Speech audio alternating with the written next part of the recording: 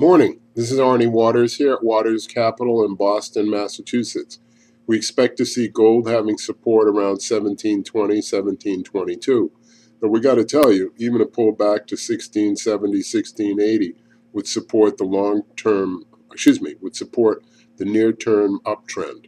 In other words, even if we went down another 50 bucks from here, we would be and we'd still be in the secular growth trend that we've been in gold for a while.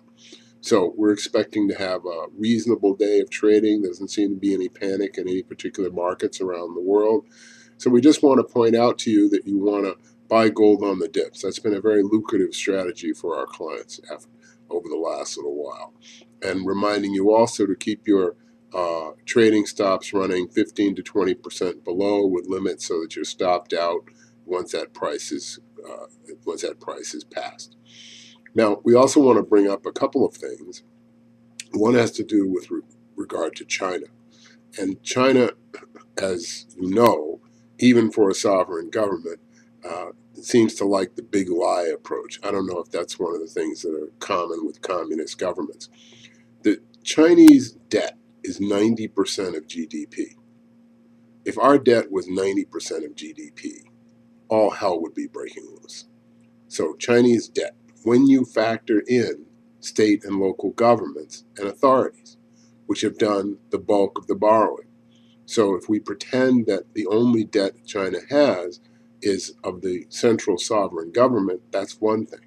But when we look in the other direction and we see all the debt that the states, cities, localities, and authorities have put on, like for the bullet trains, uh, you know, we see a very different picture 90% of GDP.